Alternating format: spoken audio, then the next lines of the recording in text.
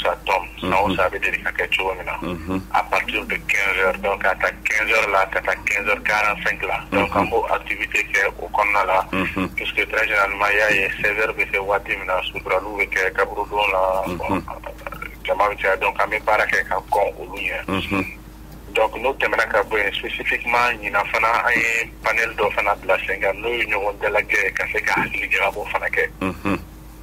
cɛ dɔ an bɛ taa sɛnɛdo la ka taa kilasi bila ka kan kɛra ye nka amadu ye kɛlɛ cɛfarin dɔ de ye a ka wuli ka jɔ a ma dogo mɔgɔ la anw ka jamana kɔnɔna la ni perezida moribo keyitaw ye baaraw kɛ ɲɔgɔn fɛ o yɛrɛ danaya mɔgɔ jɔn jɔn fana tun don donc a jɔyɔrɔ bonyara kosɛbɛ an ka yɛrɛta n'an ka yɛrɛma hɔrɔnya baaraw kɔnɔna la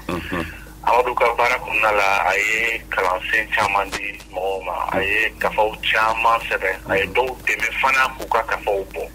o tuma a ye kafa minnu bɔ n'o y'a ka iritasi ye ni terire ye an bɛ taa da don kuma fana la ko ɲɛfɔ mɔgɔw ye ka to a saya dilan fana kan e ka dɔn ka fa tun ye kafa dɔ fana a y'o baaraw la ban yɛrɛ ka ban pewu tun tora dɔrɔn a ka bɔ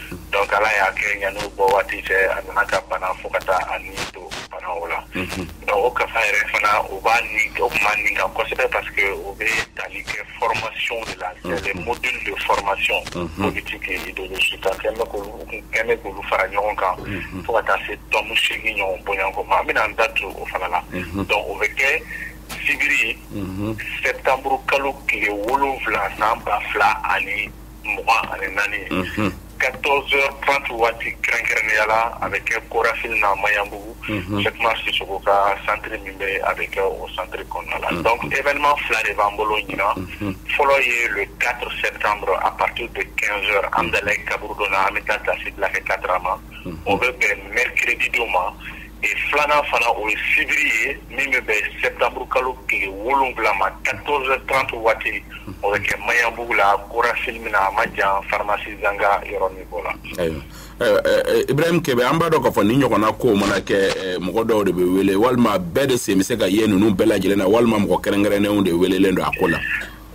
maa o maa sen bɛ se k'i yɛrɛ se bɛɛ lajɛlen welelen don bɛɛ lajɛlen welelen don maa waati bɛ se k' i sen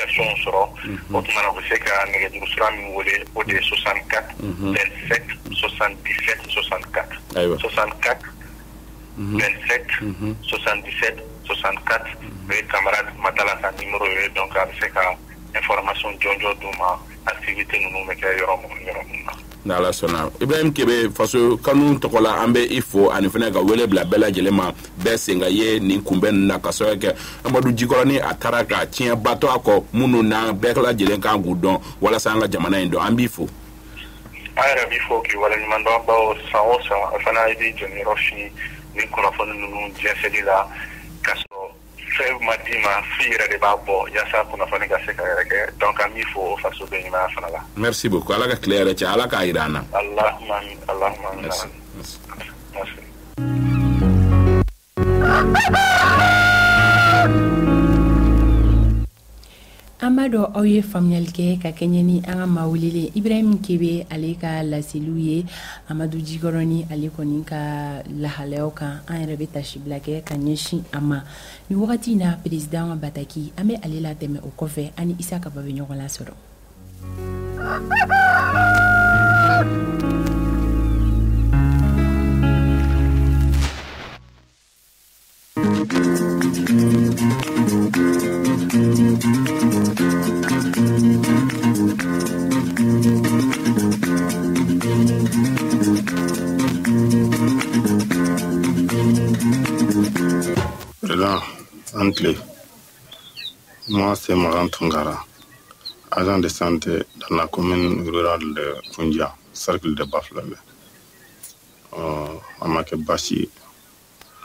n bɛ fɛ ka kuma i fɛ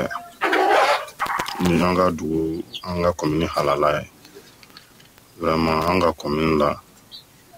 eh, dɔgɔtɔrɔso ko kelen tɛ ka labɔli kɛ vraiment dɔgɔtɔrɔso tɛ kelen ka labɔli kɛ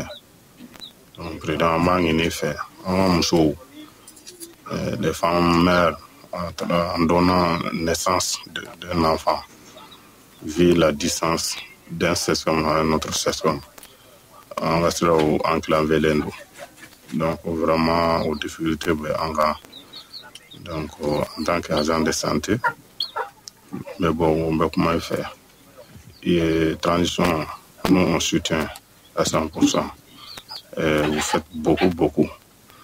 mais franchement o degun bɛ anw ka commune kɛrɛnkɛrɛnyana ne ka dugu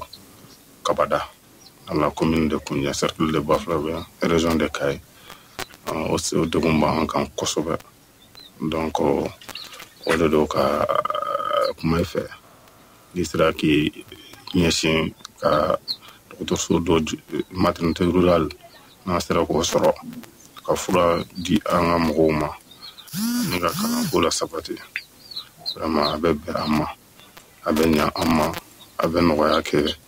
musow fanfɛla ani jiko jiko gɛlɛya bɛ kosɛbɛ kosɛbɛ ni samiya sera a bɛ nɔgɔya ni tilema sera ji tɛ sɔrɔ i bɛ hakili to an na o la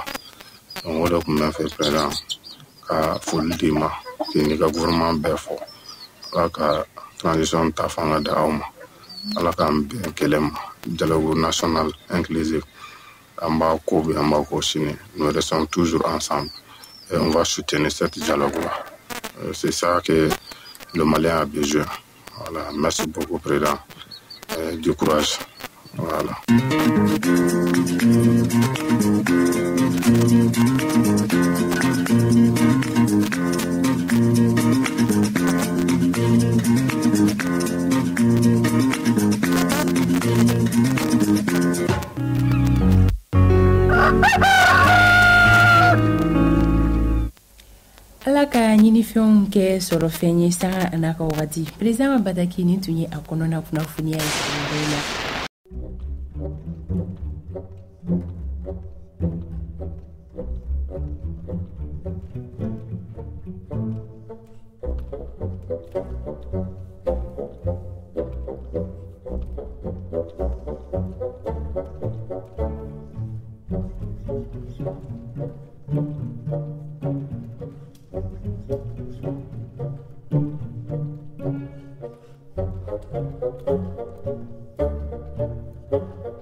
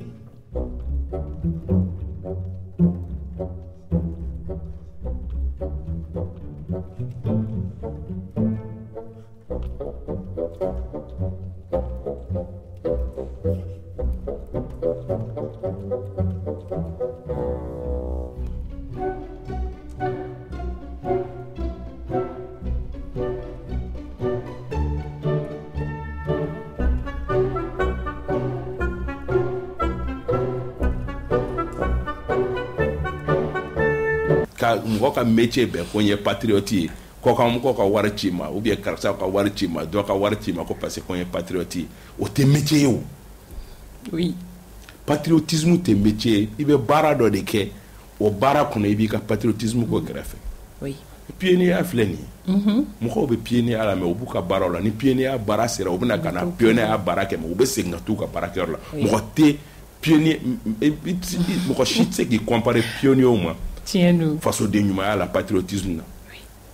u tɛ video kɛ u tɛ foyi foyi kɛ mais pourtant u bɛɛ b'u ka baarakɛyɔrɔ la mais ka mɔgɔ dɔw kɛrɛnkɛrɛn k'olu kɛ eh, eh, f'u bɛ patriote da u tɔgɔ kan a camanba de bɛ réseau kan sisan patriote karisa patriote karisa olu ka métier de bɛnnen b'o ma non il faut arrêter avec cette arnaque patriotisme tɛ baara ye patriotisme bɛ fara baara dɔ de kɛ i bɛ i bɛ jamana baara dɔ kɛ ka nafa la don jamana kunna o baara la ka sɔrɔ ka fasodi ɲumanya fara o kan mais ka e ta kɛ e, e tɛ baara foyi kɛ ko k'a fɔ réseaux sociaux sanfɛ ko n ye patriote ani fana ka mɔgɔw désigner ko mɔgɔw ye patriote karisa ye patriote ye karisa tɛ patriote ye k'e ka métier bɛn o ma o tɛ baara ye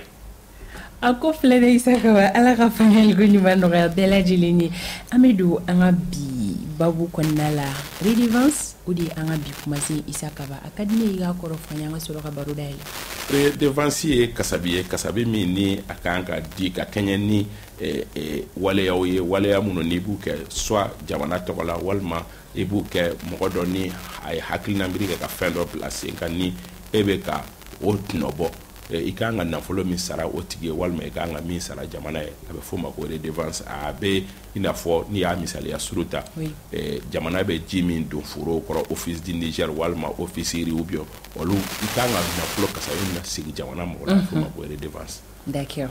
o misaliya dɔ fana ye Eh, jamana bɛ yamaruya di an ka fiɲɛ sira minnu utiliser walasa mɔgɔw ka se ka anw kunkan mɛn k'an to kumaso ninnu kɔnɔ jamana de ta ye espace o espace ye o ye fiɲɛ siraw ye walasa an ka mɔgɔw sɔrɔ f'u ka denbayaw kɔnɔna la an k'an ka nafolo kasabi min sara jamana ye o la a fɔ o ma ko redevance o kuma yɛrɛ de bɛ sen na bi D'accord o la o ye baro dayɛlɛlen ye kɛrɛnkɛrɛnnenya la i b'a fɛ ka mun fɔ an ye sɔgɔmada in na kunun haute autorité de la communication ɲɛmɔgɔba ani a ka eh, eh, baarakɛɲɔgɔn maa kɔnɔntɔn olu tun bɛ kunnafonidilaw ɲɛkɔrɔ yaasa ka se ka gɛlɛya dɔ kuma walankata bɛɛ lajɛlen ka kɛ kunnafoni nivo kelen na a kuma la ka sɔrɔ kɛ a kuma ka ca kosɛbɛ mhm. o ye eh, arajow ni telewisiyɔn kan ka nafolo min sara jamana ye san o san awɔ mɔgɔ caman t'o kalama o fɛ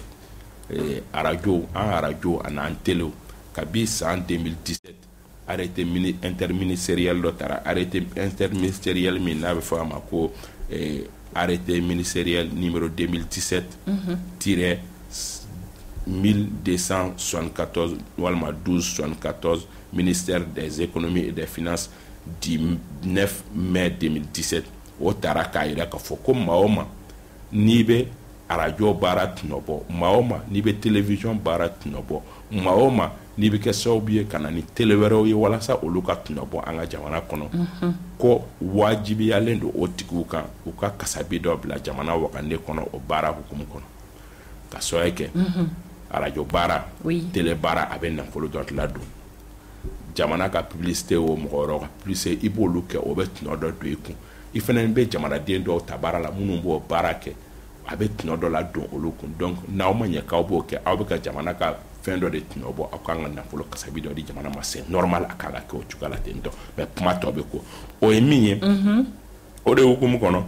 ee ko in kabi san ba fila ani tan ani wolonwula n'a kuma fɔra gɛlɛyaw donna baara la san ba fila ani tan ni wolonwula o tun kɛra decision talen mhm. san ba fila ani tan ni seegin kɛra tentɔ san ba fila ani tan ni kɔnɔntɔn a fɔra ko k'a baara lawaleya ka a lawaleyali ni bin ni ɲɔgɔn cɛ gɛlɛyaw bɛ a baara la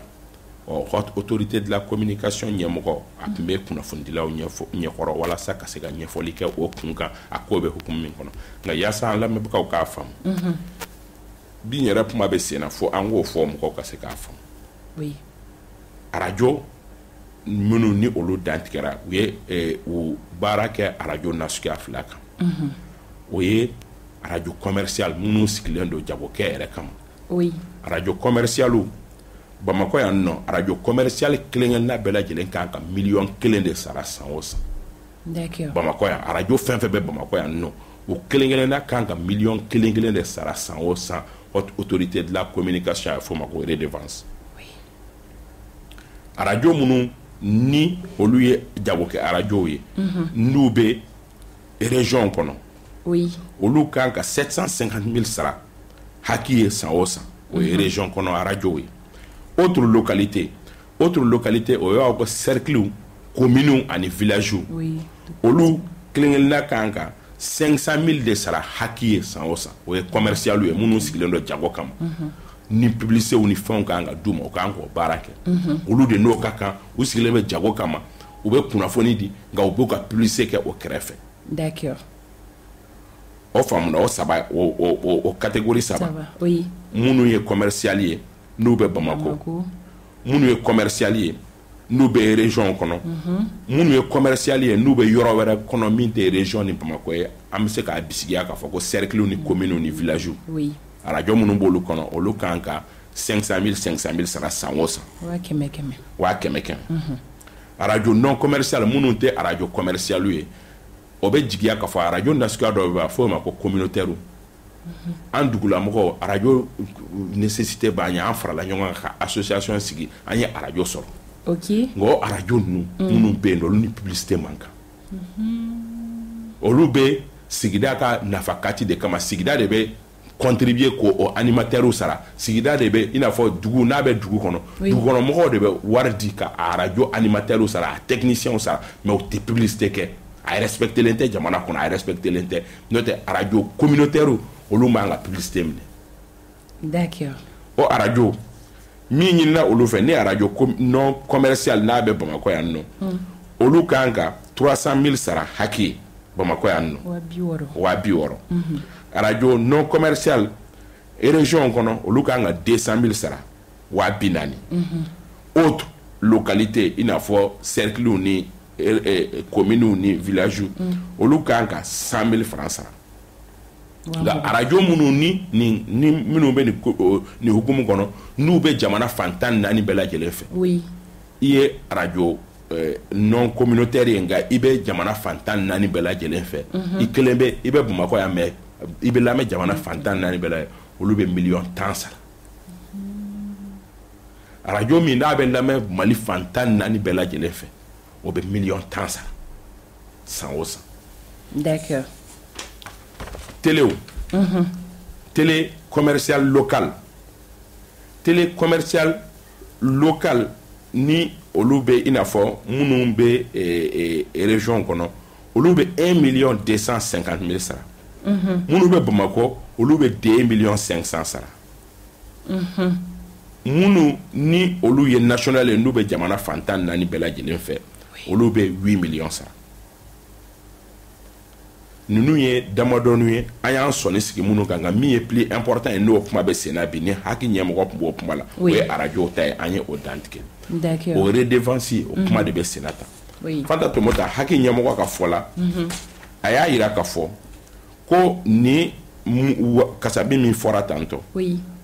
mali fantan naani bɛɛ lajɛlen fɛ ko arajo kɛmɛ ani arajo bi seegin ani fila mhm. olu de kelen don ka ni sariya bato n'u kelen don k'u ka wari sara ere taara t'u la san o san ka b'a daminɛna fɔ bi u b'u ka wari sara a ɲɛ binɛ o ye arajo kɛmɛ ani arajo bi seegin ani fila arajo minnu bɛ yen nɔ ni olu bɛ taara la ka se fo san san duuru ɲɔgɔn ma olu ye arajo bi wolonwula ani naani ɲɔgɔn ye arajo minnu n'olu ka taara b'a ta san saba ka se san naani ma olu ye arajo mugan ani kɔnɔntɔn ye nka ko arajo kɛmɛ ani arajo fila ɲɔgɔn bɛ yen nɔ olu bɛ e taara la san kelen ɲɔgɔn na arajo bi duuru ani saba bɛ yen nɔ minnu ni redevance sara yɛrɛ tɛ mhm. olu yɛrɛ ma u bila règle la o haki yɛrɛ ma yamaruya di olu ma ils sont dans une situation d'irrégularité mhm. o ye arajo bi duuru ani saba ye mali fan tan ni naani bɛɛ lajɛlen fɛ a ɲinini o tigiw fɛ k'u kana ka na u bila sariya bolo kan mhm. u kana to sariya sɔsɔ kɔnɔna la okay. ɔ ko ɲangini bere min bɛna ta arajow kama arajo minnu ni u bɛ nin situation kɔnɔ a bɛɛ lajɛlen minnu ni u tɛ minnu ni eh, retard b'u kan o retard de 5 ans o retard de 3 à 4 ans o retard 10 naani o k'olu bɛɛ lajɛlen ko dɔw bɛ yen nɔ mhm. k'u bɛna sariya boli ka dɔw ka fréquence yɛrɛ minɛ u la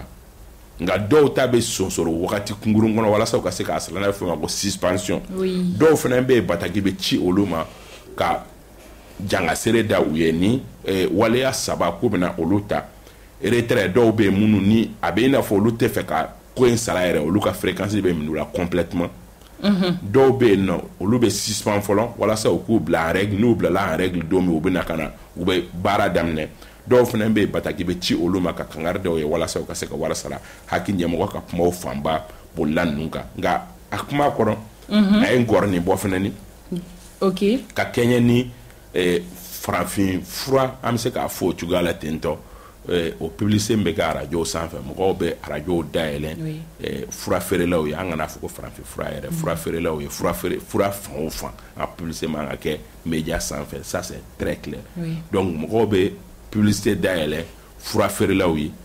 eh, ko mɔgɔ minnu b'a hukumu kɔnɔ ko a délai kɔni banna kabi utukalo banni k'u tun ye eh, wagati kunkurunin min di walasa mɔgɔw kɔntara de tun bɛ mɔgɔw ni a fura feerelaw ni ɲɔgɔn cɛ mhm. u ka se k'u ka kɔntaraw timɛ walasa u ni fura feerelaw fana olu kana na taa ni arajotigiw ye kiri la ko mhm. wagati kunkurunin wɛrɛ dir'u ma tuguni walasa n'o kɔntara banna u kana kɔntara wɛrɛ siɲɛ ko o wagati kunkurunin ko fana da cɛla sisan a partir de hier kunun euh, cɛlajɛ kɔfɛ ko ni fura feere mɛnna arajo min kan ni min bɔra la ko arajo tigi y'o ɲini o ye haki ɲɛmɔgɔ ka kuma ye ninnu ye kumaw ye minnu n'u bɔra o baro lasigi la anw bolo jamanadenw kan ka bɔ a kalama c'est pour que an y'a kɛ bi tɛmɛ a nafa ka bon isa kaba i ye kunnafoniya bila yɔrɔ min na yalima o b'a yira k'a fɔ arajo dɔw bɛna datugu wa o kuma in bɛ o de nɔfɛ parce que a kuma kun duruntu la wagati dɔ la ko télé 17 k'a ni arajo 300 damadɔ ni k'olu bɛna datugu a kuma cayara kosɛbɛ ka taa ni ka segin o n hakili la o yɛrɛ de ye HAKI ɲɛmɔgɔ ka bɔli motiver min fɔra a ka kumaw kɔnɔ hali n'a y'a sɔrɔ kumaw ma fɔ gɛlɛya kɔnɔna la mais kuma min fɔra o ye ka fɔ retrait kɔni kɔrɔ ye arajo datuguli de ye. ɔ suspension kɔrɔ ye k'a fɔ ka dɔw ka baara sonsoro mise en demeure par une lettre o kɔrɔ ye k'a fɔ ko bataki bɛ ci dɔw ma donc a mana kɛ cogo o cogo mm. eh, n hakili la mm-hmm. ni mɔgɔw m'u bila règle la kɛrɛnkɛrɛnnenya la minnu kan ka yɛrɛ defan sara n'u m'a sara dɔw ka fréquence bɛ sɔn ka retire nka telew ta kunu komi a m'i penché o kan kosɛbɛ parce que o fana kuma ka ca kosɛbɛ fan da tɔmɔ ta D'accord Isa Kawa o yɔrɔ la est-ce que damakɛɲɛbaliya dɔɔni tɛ nin ko in na sabula hali n'a sɔrɔ la media dɔw bɛ yen nɔ olu tɛ fosi sara. O de ye gɛlɛya yɛrɛ ye bi. O ko dun kan ka kɛ cogo di? Kuma yɛrɛ gɛlɛyaba ye bɛ niveau min na o ye o de ye. Au fait eh, publicité ni fɛnw oui. bi bi in na comme arajow ni a fɔra k'a fɔ ko e arajo e bɛ Bamakɔ yan nɔ e bɛ 1 million sara. Oui. I ye i y'i ka 1 million sara mɛ e tɛ se ka eh, te publise ni fɛnw publisew minɛ waa naani kalo la e tɛ se k'o minɛ waa fila kalo la bilen parce que mm-hmm. wari dɔ de sarali juru bɛ e la ni san kuncɛla san o san i kan k'o sara donc ce qui fait que arajo walasa u ka se k'u ka o wari sɔrɔ ka se k'u ka eh, techniciens n'u ka animateurs n'u ka journalistes sara sɔrɔ arajo obligé la k'u ka publicité sɔngɔ yɛlɛn dɔɔni ni publicité sɔngɔ yɛlɛnna publicité tigiw bɛ mun kɛ plisetigiw fana bɛ arajw bɛɛ to yen nɔ o kɛlen don sababu ye arajw tolen don yen bi ka taa mja sosiw sanfɛ mja sosiw ninnu sigicogo t'u la sigikan t'u la sɛbɛnfura foyi t'u ko fɔ bi haki dɛsɛlen sigilen ɲɛ bɛ o la an k'o yɔrɔ fɔ dɔnku plise bɛɛ yurulen don ka taa olu fan fɛ garatuma olu bɛ se ka plise k'i ye waa fila u b'a k'i ye waa naani u b'a k'i ye fɛn bɛɛ komediyw bɛ yen u bɛ eh, eh, page facebook b'u bolo publicité bɛɛ yurulen don olu fan fɛ f'u bɛ sɔli kɛ dɔ ko ko n t'a kɛ waa fila dɔ ko ko n b'a kɛ waa fila k'a kɛ c'est à dire que olu kɔni règle t'a la foyi foyi t'a la donc publicité kɛla bɛɛ mɔgɔw mago bɛ jama bɛ n ka produit dɔn yɔrɔ min mhm. jama dun fana bɛ olu fana lajɛ mais yamaruya jamana kɛlen don ka yamaruya di mɔgɔ minnu ma n'olu kan k'a baara kɛ mhm. olu bɛ kunnafoni d'u bɛ publicité k'a kɛrɛfɛ olu kumaniyalen don an ma parce que tout simplement wari min fɔra olu ye n'olu b'o sara n'a fɔra ko bajanbila don ko arajo fana b'a arajo fana tun b'a minɛ hali waa kelen arajo tun bɛ se k'a pulise minɛ hali waa kelen ni bajanbila don o cogoya la tentɔ k'a kɛ an b'an yɛrɛ ma tentɔ mɛ an t'an yɛrɛ ma bilen i kan ka wari dɔ sɔrɔ i kan ka kɔndisɔn dɔw dafa i kan ka deontolosi dɔ rɛspɛkite o o gɛrɛndɛw ni fɛnw i tɛ se ka mɔgɔw burujɛ i tɛ se ka fɛngɛw kɛ o gɛrɛndɛw n'o fɛnw bɛ arajo kan parce que n'i y'o fana kɛ haki kelen in b'i wele ka kangari da i ye i bɛ ka mun kɛ tantɔ donc a bɛ b'a fɔ ko ka dɔ tigɛ k'o tulu la ka dɔ tigɛ k'o ji la k'olu ka jɛ ka dumuni kɛ ɲɔgɔn donc arajow bolo fila n'u sen fila sirilen don k'a da bi media wɛrɛw bɛ ka profiter a ɲɛ bi naani ma arajow ka baara la mais fɛn tɛ se ka fɔ o la o de ye gɛlɛya ye bi donc ya injustice an ka jɛ k'o fɔ haki mɔgɔw ye minnu fɔ tiɲɛ b'u bolo jamana ɲɛmɔgɔw ye eh, organisation kɛ tiɲɛ b'u bolo mais media sociaux ninnu fana ni organiseli o fana bɛ ka tan ta parce que n'o ma tan ta tant que ni olu e bokolongolo musa tɛ bɔko gɛlɛya dɔn tant que ni gɛlɛya t'a la fo olu ta ye a ka di n ye cogo min n'i ye e, e, e, isa 24 dayɛlɛn bi ni sɔmi kɛra n na o la n bɛ taa sidibe 25 dayɛlɛn ainsi de suite ainsi de suite i bɛ media nasuguya bɛɛ dayɛlɛn i bɛ taa publicité minɛ cogoya bɛɛ la dɔw bɛ yen fo media naani duuru b'olu bolo u tɛ foyi sara u tɛ impôt sara u tɛ foyi foyi sara redevance t'u kan foyi foyi t'u kan publicité y'u diya cogo cogo ni n'u bɛnna la cogo cogo u b'a minɛ u b'i ka baara kɛ an b'o niveau de la bi donc ce qui fait que radio ni si ça continue comme ça haki bɛ fɛrɛ ka radio kelen kelenna bɛɛ datugu parce que a t'u kun de k'a di o kuma tiɲɛ y'o de radio tɛ ka wari sɔrɔ bi o radio bɛ wari sɔrɔ fɛn min na o ye o fura feere kelen de ko k'o dabila n tɛ k'a encourager fura feere in arajow caman bɛ yen u jigi ye o de ye a fɔra ko k'o dabila arajow jigi ye publicité min ye publicité bɛ eh, eh, eh, Facebook ni fɛnw sanfɛ visibilité bɛ yen nɔ aujourd'hui qu'est-ce qu'on fait mɔgɔw yɛrɛ bɛ télé k'a la k'u sigi réseaux sociaux sanfɛ donc qu'est-ce qu'on fait il faut organiser les réseaux sociaux et autres mɔgɔw ka dama kɛɲɛ ake isa ka wagati ale fara i bɛ se ka mun kɛ ka kunnafoni kun cɛ senpma senpma haki ye desiy min ta desiy ɲuman don di ma o a bɛ taa o de la u ye jamana ɲɛmɔgɔ fana ni ka kuranji sɔrɔ tɛkisiww ka kɛ fɛnkɛ ninnu na an kɛrɛfɛ jamanaw bɛɛ bi bin na mɔgɔ mɔgɔ ka paji ye hakɛ dɔ sɔrɔ tiɲɛ kɔsidire kɔmɛ mja mɛ i ye jamana mja de ekilenmaw ka kuu fana na a fana nana kɛ o cogoya ten tɔ bɛɛ ka fɛn fɛnw k'i yɛrɛma ten tɔ i la garan tan kɛ jamana ɲɛmɔgɔ fana k'o jate minɛ pur que ka se ka minnu bɛ wara sara jamana ye ka baara minnu kɛ olu ka se ka Eh, eh, eh, olu ka se ka dɛmɛ u ka baara kɔnɔ n b'a misaliya di muso nana a ka telimani ye a ye réflexion kɛ a ye diɲɛ fɛn bɛɛ kɛ a nana ka na a ka entreprise sigi mhm. a ye wari min don a la minnu ma foyi foyi kɛ u nana ka na secteur fa fo ka muso ka baara bi il faut que état ka secteur privé protégé de